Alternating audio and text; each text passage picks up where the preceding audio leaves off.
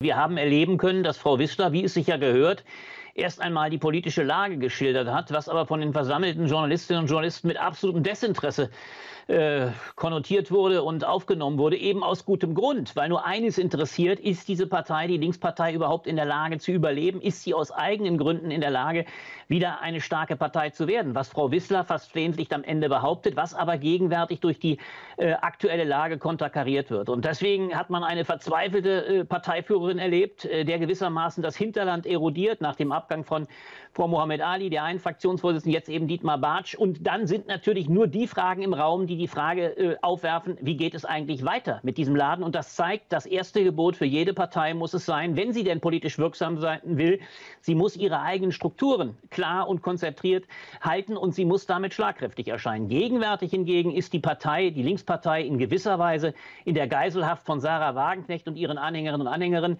die eigentlich nur darauf abstellen, äh, den richtigen Moment zu finden und abzuspringen und damit der Partei im Bundestag sogar den Fraktionsstatus zu rauben. Denn wenn sie abspringen, dann hat die Partei nicht einmal mehr diesen Status und dann wird sie noch bedeutungsloser werden, als sie es jetzt bereits ist. Die Spaltung, die sich in der Linkspartei abzeichnet, ist eine, die auch inhaltlich begründet ist. Was Janine Wissler jetzt versucht, ist der, das äh, Unternehmen gewissermaßen den Raum, der vor allem links von den Grünen freigemacht wird, zu besetzen. Also in gewisser Weise eine klarere Ökologiepolitik zu befördern, zu propagieren, weil natürlich in der Ampel die Grünen auch sehr eingeschränkt sind. In der Asylpolitik viel grundsätzlicher das Recht aufs Asyl zu verteidigen. Also all das, was die Grünen Grünen an Kompromissen opfern müssen, besetzt jetzt die Linkspartei. Die ganz große Frage ist, und da sind wir bei der Gründung von Frau Wagenknecht, die Frage, die zentral ist, ist die, ob das für eine linke Partei, also hier für die Linkspartei reicht. Das Prinzip wie Wagenknecht ist genau das andere. Sie will die Marginalisierten, die Schwachen, äh, Schwachverdienenden, die Lohnabhängigen sammeln, die ein Stück weit gerade gegen die Grünen Politik äh, in Stellung gebracht werden. Wagenknecht sagt ja, die Grünen sind die gefährlichste Partei äh, im Lande. Also eine bemerkenswerte Aussage eigentlich für eine vermeintlich linke linke Politikerin, die damit sagt, Ökologie ist nicht das zentrale Thema. Aber damit hofft sie eben sowohl bei der AfD äh, als auch im linken Spektrum die Verlierer, äh, die Globalisierungsverlierer zu gewinnen. Das ist der Spalt, der gegenwärtig durch diese linke äh, Partei geht und auch durch die Wählerschaft. Und die große Frage ist, und das ist das inhaltliche Fragezeichen, kann es für die Linkspartei reichen, wenn sie ein Stück weit grüner sein will als die Grünen, auch weltoffener, humanitärer. Äh, daran hat Wagenknecht immer Zweifel geäußert und es ist tatsächlich eine berechtigte Frage, ob das noch reichen wird, um fünf Prozent für den Bundestag zu gewinnen. Die Stoßrichtung von der äh, Partei Wagenknecht, und man kann ja gespannt sein, übrigens, gespannt sein, übrigens, welchen Namen sie sich geben wird. Ich habe große Zweifel, dass sie sich mit dem Namen Linkswirt schmücken wollen, weil sie ein ganz anderes Ansinnen hat. Sie ist im Kern zunächst einmal eine nationalistisch orientierte Partei, absolut europakritisch.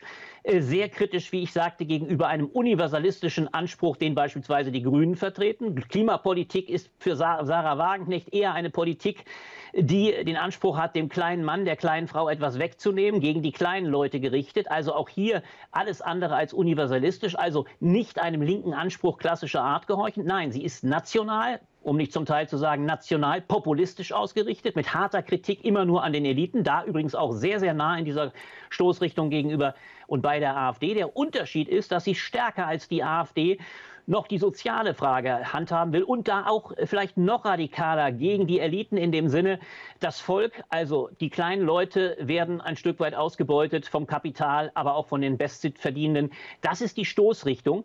Äh, die ist in dieser Gerechtigkeitsfrage durchaus klassisch links, aber alles andere was eben eine internationalistische Position anbelangt, die Orientierung auf globale Rechte, Migration, äh, Klimaschutz, da ist Wagenknechts Partei alles andere als links. Und deswegen bin ich sehr gespannt, oder ich sage, die kommende Partei ist alles andere als links. Deswegen hat Frau Wissler durchaus recht, wenn sie die Frage aufwirft, wird das überhaupt eine linke Partei sein? Und da kann man sehr gespannt sein. Übrigens auch ironisch, dass Frau Gero, die früher mal eine große Europabefürworterin war, um nicht zu sagen eine Europa-Utopistin, äh, sich jetzt äh, zur Gewährsfrau und Anhängerin von Frau Wagenknecht als Nationalpopulistin entwickelt hat. Das hat eigentlich mit ihrem früheren Konzept nichts zu tun. Es zeigt aber, dass Wagenknecht all die auch einzusammeln versucht, die im Zuge der Corona-Krise, auch im Zuge des Ukraine-Krieges anti-westlich sind. Denn das ist die Überschrift anti-USA und ein Stück weit auch ausgesprochen äh, russlandfreundlich, wie es in letzter Zeit Frau Gero auch gewesen ist.